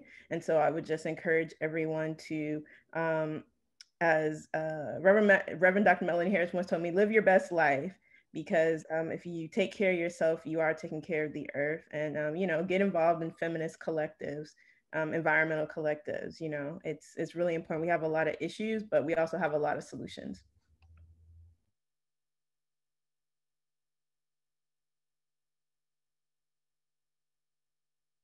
Kishi, you want to go next?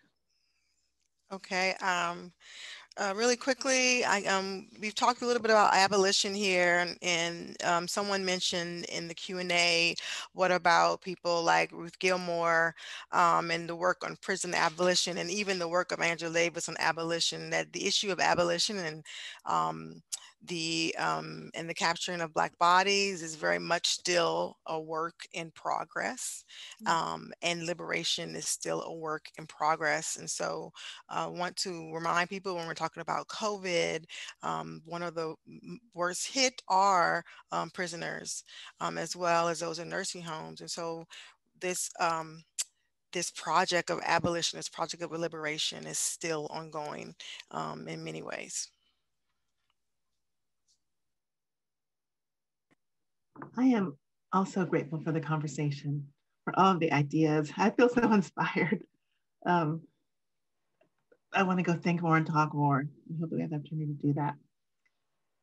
A couple of final thoughts that I have are that we should try to continue the work of restoring, restoring um, what it means to be human, what it means to be um, American, what it means to be people living in our local communities and spaces.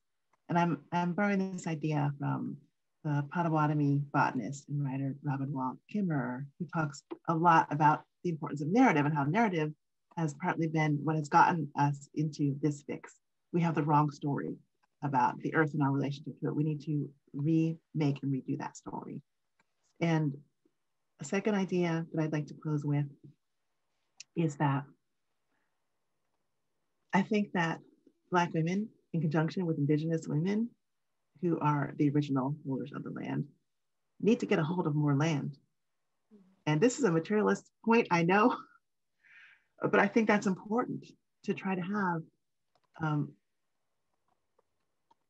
these spaces of fugitivity, to try to remake these spaces and to hold on to them and so I would love to see somebody fund some workshops. They're probably already happening, but maybe fund more workshops around how can Black communities, Black women, Black feminists, um, environmentalists, and eco-womanists, Indigenous women learn more practical tools and be supported in, in, um, in gaining and maintaining and living in good positive relationship with collective land.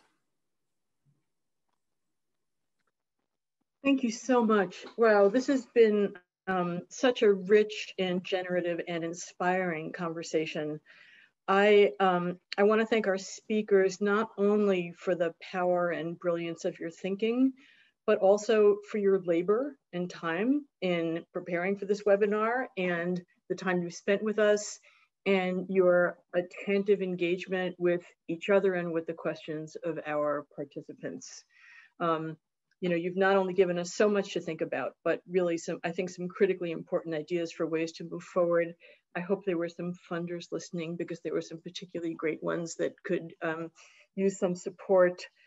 Um, we, and, and this would be the point where if we weren't on Zoom, there would be thunderous applause from the audience for all of you. So please, um, please hear it in your minds, even if, um, even if you can't hear it um, orally. Um, in for the for all of the participants who came, thank you so much. We know that some of you will want to listen again and that you'll want to tell your friends about it. And there will be a recording on our website um, where you can do just that. I'll also say that although this is not the scale of space that people were talking about needing, that there will be space to continue this conversation in our next webinar, which will be on April 1st on gender, race, and climate justice, national and, and global policy perspectives. And we have four more brilliant women who will be participating. Colette Pichon Battle, um, Osprey Oriel Lake, Anita Nayar, and Jacqueline Patterson. So we hope that you will join us for that and continue along these lines. Um, so once again, thank you to everybody and um, especially our speakers. And we look forward to seeing you soon. Thank you. Thank you. Night, everyone. Bye-bye.